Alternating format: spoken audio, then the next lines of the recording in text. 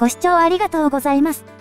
今回は、都心の真ん中にある、時代に翻弄された駅のご紹介です。かつては都内有数のターミナルとして繁栄した駅の、栄枯盛衰の歴史とその遺構、無駄に豪華な通路の正体に迫ります。閉ざされたホームに無料で入れる、潜在一遇のチャンスにも注目です。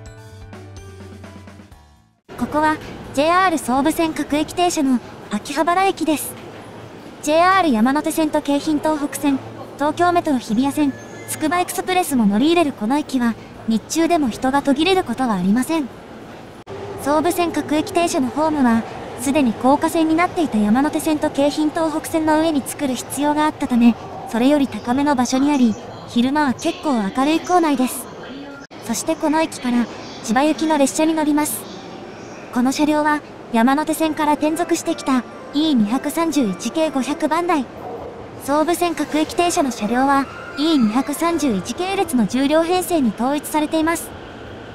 総武線各駅停車は山手線の内側にあるお茶の水駅から千葉駅までを結ぶ全長38.7キロの路線。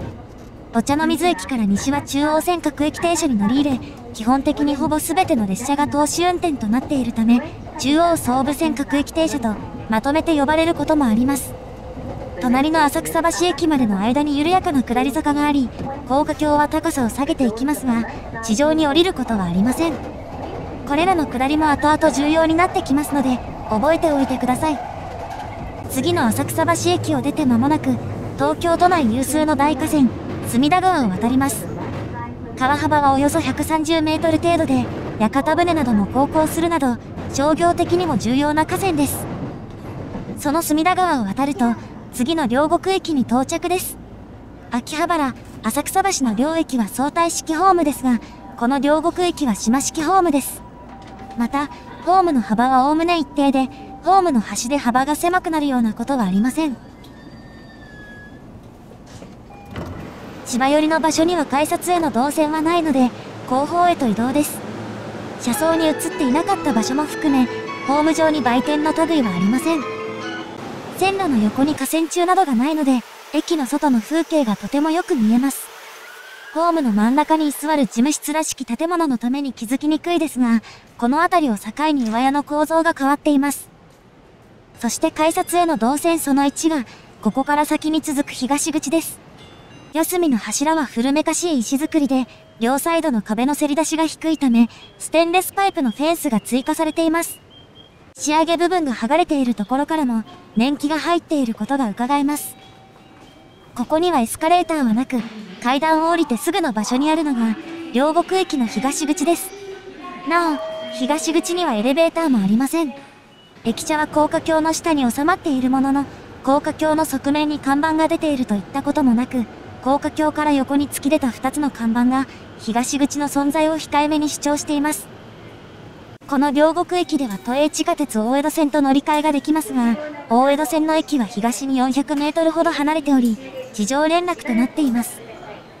そしてこの東口、改札横の窓口は営業していません。昨年2月末をもって駅員の配置が終了し、インターホンでの対応になっています。経費削減が進む感じが漂いますが、それはこの駅の本質が別のところにあるからです。というわけで、この駅のもう一つの出口、西口へと向かいます。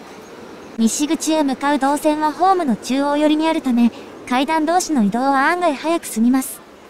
そしてこちら側には黄色の案内看板があり、横にはなんだか渋めなネーミングの施設が並びます。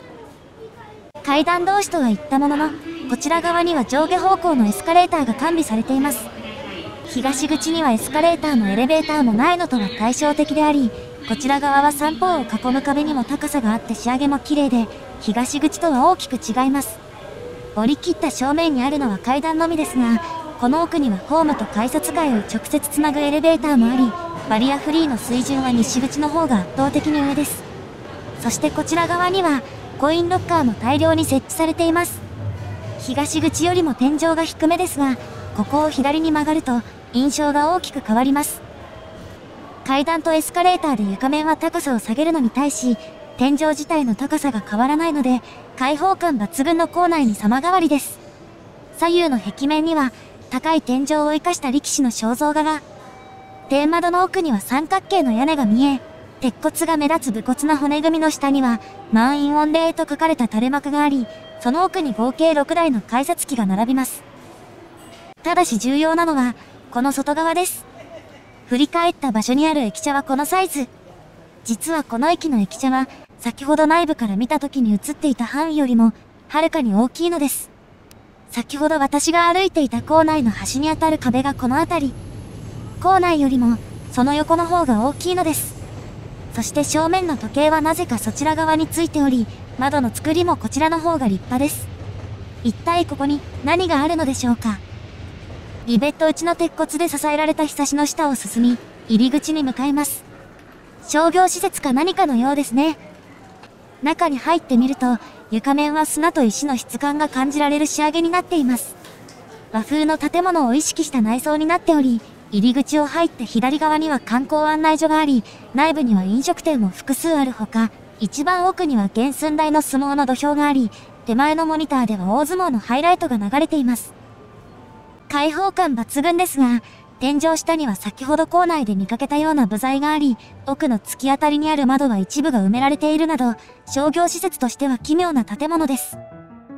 そう、この建物は最初から商業施設として建てられたものではなく、かつては全体が駅舎として利用されていたのです。駅の規模に比べて大きい建物ができた理由は、一体どこにあるのでしょうか。両国駅が開業したのは、1904年4月。現在の総武線を運営していた総武鉄道が、東側から路線を延伸し、隣の錦糸町駅との間が開通した際に開業した駅です。そしてこの時、東武鉄道が現在の亀戸線を開業させた上で乗り入れ、同じく終着駅としました。一方貨物列車は亀戸線経由で北千住駅まで乗り入れ、そのまま常磐線に入る運用となっていました。この乗り入れにあたり、東部が引船駅と当時の吾妻橋駅との間を廃止したため、亀戸線は実質的に本線として機能するようになりましたが、6年後の1910年3月に吾妻橋駅は初代浅草駅として復活し、旅客列車については乗り入れは終了しています。そして地図にもありますが、開業当時は今とは違い、両国橋という駅名でした。これは当時、西を流れる隅田川が武蔵と下宇の境目で、川にかかっていた橋が両国橋という名前だったからです。両国という地名も昔は川の両側を指していたのですが、時代が流れるにつれて東側だけを指すようになり、1931年には駅自体も両国駅に解消されました。なお、両国という地名は線路の南側であり、駅の所在地は墨田区横綱一丁目です。そして開業当時、東京都心の鉄道路線はまだ環状にはなっておらず、ターミナルは方面別に分かれていました。東海道線の新橋東京、東北線の上の中央線の飯田町と並び、東西南北に伸びる路線網の起点の一角を成していたのです。また、これには当時の総武鉄道の技術力と資金力では、隅田川を渡る橋を架けられなかったことが関係しています。東京近郊では収入も大きく、取扱収入は、東京上野、新宿横浜、新橋に次ぐ第6位であり、駅の北側には運河が掘り込まれ、水運と連携した貨物取り扱いも行われました。ただしそこから、この駅をめぐる変化が続きます。1926年には、総武線の新小岩と常磐線の金町を結ぶ、新金貨物線が開通。東武線への貨物列車の乗り入れがなくなると同時に、両国橋駅を経由する貨物列車が減少しました。新金貨物線の動画は別途公開していますので、概要欄から見てくださいね。なお、現在の西口駅舎は、この3年後の1929年12月に再建された2代目、1914年の関東大震災で初代駅舎が失われた後、ようやく再建されたものです。後ろには二面4線の線路を従えた立派な作りの駅舎で、現在まで90年余りにわたって維持されています。さらなる変化が訪れたのは、1932年7月。9年前の関東大震災で被災した市街地で区画整理が行われ、両国からお茶の水まで高架線を通せる目処がついたことで、両国お茶の水館が開業しました。今の島式ホームは、この時建設されたものです。両国から東は電化されていなかったため乗り換えが必須でしたが、改札口を通らない乗り換えが増えたことで、取扱収入には陰りが見え始めます。また、1935年7月に千葉駅までが電化されると、房総方面の列車の起点が千葉駅に移り、両国駅の地位はさらに低下していきました。ただし戦後になると、その様子が一変します。人々が豊かになるにつれて房総方面の海水浴需要が盛り上がると、長距離列車の始発駅だった両国駅は、夏季を中心に活気を取り戻します。ダジャレではありません。房総各線に直通する優等列車が設定され、1970年10月改正では、合計15往復の急行列車が運行されました。昭和20年代の駅舎のレイアウトがこちら。乗車口と降車口が分けられた立派な構内で、外から見て左の方が駅舎の作りが立派だったのは、そちら側が乗車口だったからかもしれません。かつては3面6線のホームに加え、北側には検車線や洗浄線、そして9本の貨物線が並び、運河に船を横付けできたほか、専用線で近隣の市場と結ばれていました。構内には機関車用の停車台も置かれ、300人以上の職員が働いていたそうです。ただし現在運用されているホームは、序盤でご紹介した一面二線のホームのみ。駅舎として機能している部分も、かつてに比べて少なくなっています。映画を誇った両国駅に一体何があったのでしょうか？両国国技館の最寄りだけあって相撲にちなんだ設備はあらゆる場所にあり、校内には力士の手形が並んでいるほか、改札機の前には土俵もあります。また、西口の看板はフォントが行書体になっています。鉄筋2階建ての駅舎で、相撲と共に歩んだ下町の代表駅として、関東の駅100選にも選定されています。観光客も多く訪れるこの駅、相撲を押し出してアピールしていますが、先ほど触れた通り、駅としての規模は大きく縮小しています。序盤で降りた西口のエスカレーターよりもさらに西には、地上へ降りる階段の跡が残っています。ゴミなどが入らないようにネットで覆われており、正面には開閉式のフェンスもあります。枠回りの構造は東口に向かう階段と同じですが、両サイドのタイルはそのままになっており、踏み面には埃が積もっています。そして階段の途中には、かつての両国駅の繁栄が伺える写真があります。中盤で背景にあった写真は、ここにあったものです。改札への動線から外れているのでスルーしてしまいがちですが、貴重な遺構の一つです。一方現在この駅にやってくるのは10両編成の通勤電車だけ。運行されるのは千葉駅までで海水浴で賑わった房総半島への直通列車はありません。そしてかつて存在した2面4線のホームはその様子が大きく変わっています。12番線ホームからは一段低い場所にあるかつて存在した旅客ホームを見ることができます。ホームは時代に合わせてかさ上げされたようで仕上げ部分はミルフィーユのように層になっています。そしてかつて2面4線だったはずの列車ホームが1面のみになり、線路も3番線の1本のみとなりました。奥にあるのはもう1面のホームのようですが、上屋はなく、資材などが置かれ、下り方の線路には保守用とおぼしき車両が止め置かれています。そして両国駅が繁栄を失った原因の一つが、この向こうにあります。転機となったのが、1972年7月、総武本線のうち、津田沼より都心側の区間が複々線化されたことです。これは需要の激増で混雑が激化していた総武線の輸送改善のための施策であり、同様の施策の対象路線が全部で5つあったことから、国鉄5方面作戦と呼ばれました。基本的に既存の線路の横に線路を追加して複々線化したものの、総武線の都心部の市街化が大幅に進んでいたため、ルート選定が問題になりました。市街地を高架などで突っ切る案も検討されましたが、工事費自体が割高になり、市街地での用地買収コストも高額になることから、両国駅付近で地下に入って東京駅に乗り入れることになりました。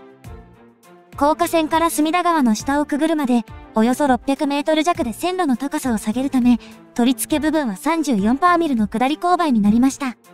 そして快速線は速達性確保のために駅数を減らしたこともあって、停車駅は東隣の錦糸町となり、両国に駅は設置されませんでした。総武快速線開業時のダイヤ改正で、急行列車9往復班が両国始発終着として残った以外、すべて東京駅始発となりました。なお、東京駅の歴史や行き交う列車たち、静かに迫る大ピンチをまとめた動画もありますので、概要欄から見てくださいね。82年のダイヤ改正では総武本線の急行が全廃されて特急に格上げされましたが、両国始発は3往復に減らされ、88年にはそれさえも姿を消し、定期旅客列車は全廃されました。3番線だけは平日の新聞輸送列車に使われていたものの、2010年3月にこれも運行を終了し、定期列車が全廃されました。なお、中盤でご紹介した、房総方面の列車が多数運行されていた70年10月改正の3ヶ月前、両国駅の貨物営業が70年7月に終了し、貨物駅の跡地は両国国技館などに転用されました。こうして駅の役割が縮小した結果、2019年度の乗車人員はおよそ4万人と、JR 東日本管内では110位にまで下がり、かつて映画を競った各駅とは、もはや比べるまでもありません。この駅にあった緑の窓口は、2021年1月末で営業を終了しています。券売機の横には塞がれた窓口もあり、少々寂しい感じです。こうして駅自体が縮小していった両国駅ですが、3番線の屋根の下あたりのタイルは綺麗で、展示ブロックも比較的新しいものです。また、柱についた放浪の駅名板は仕上げが綺麗で、後付けにも見えます。そしてこの駅のもう一つの見どころが、西口改札を入ってエスカレーターを上がった先にあります。先ほどは影になっていた場所には、両国ステーションギャラリー、3番線臨時ホーム入り口の文字が。そう、かつての3番線ホームにつながる通路を再整備して、駅の歴史がわかるギャラリーとして開放しており、真っ赤な絨毯とおしゃれな照明が雰囲気を盛り上げます。途中にはピアノもあり、日中は自由に弾くことができます。展示物は写真や図もたくさんあって情報量が多く、駅の辿った歴史がよくわかります。撮影禁止のため動画にはできませんでしたが、一見の価値ありです。赤い絨毯は階段の先まで続いているものの、階段のたもとにある開閉式の柵で仕切られ、ホームには入れなくなっています。